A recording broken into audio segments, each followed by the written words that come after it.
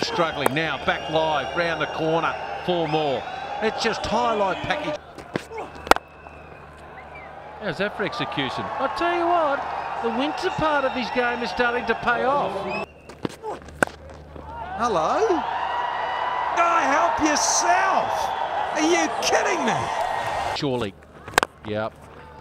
What a drive! It's amazing. If you do a bit of work in the nets, you start to get the results. But what did he do wrong? Yeah, he nipped it back a little bit, but he's had his head in the clouds. Well, there's no clouds here, but it was head in the air, and he's missed it. Banton needs to get going. Oh, have another go. Have another go. Another one in the air. Taken this time.